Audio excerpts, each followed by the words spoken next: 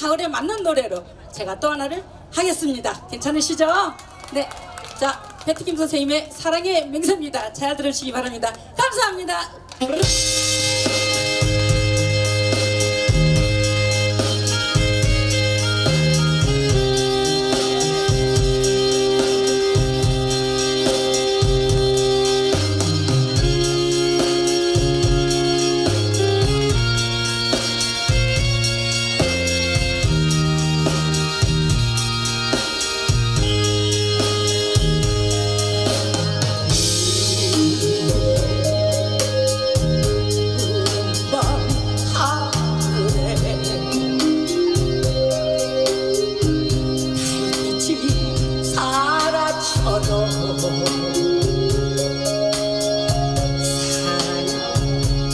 영원한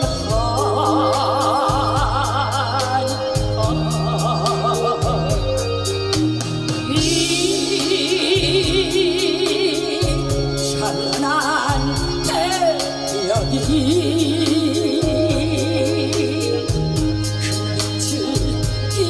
잃어도 사랑 이런 하